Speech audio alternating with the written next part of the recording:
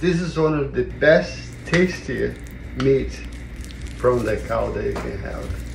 I love it. I love it. I bought this huge piece of meat. Uh, it has about 8.99 pounds. I bought it because it was on sale. Look, it cost 127.81.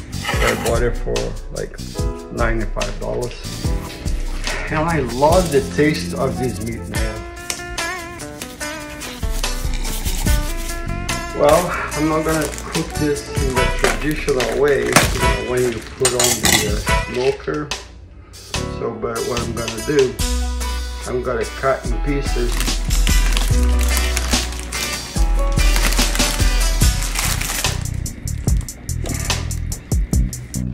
And I'm going uh, be cooking different styles. This is one of the best cut that is.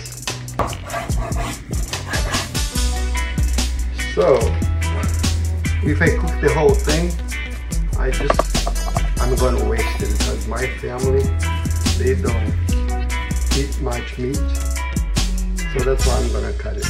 But it's gonna be delicious. So what is your favorite part of the cow? Do you like that too or you like something else?